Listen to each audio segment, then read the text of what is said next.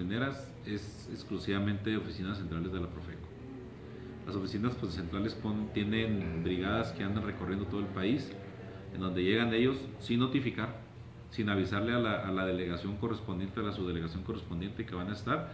Nos enteramos cuando ya nos, nos damos cuenta que en el sistema subieron las incidencias de la verificación que pudo haber habido en esa, en esa revisión. Y, y las delegaciones y subdelegaciones nos convertimos en oficinas de recepción de documentos para que hagan los trámites correspondientes ante la Profeco ese tipo de establecimientos. Más o menos cada cuánto hacen aquí en Chihuahua las revisiones, son aleatorias. No es, un tema, no es un tema donde esté establecido una, una periodicidad, porque también pues ellos no avisan a nadie y para que los negocios tampoco estén preparados a sabiendas de que digan, ah, es que en el mes de enero siempre viene. Pues no, mm. si una vez viene en enero puede ser que vengan en marzo y regresen en abril o, o vengan en junio, o sea, no sé, pero creo que eso es sano también, es importante.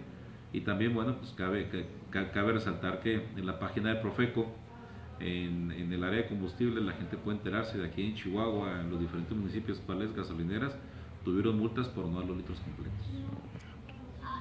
¿Qué consejos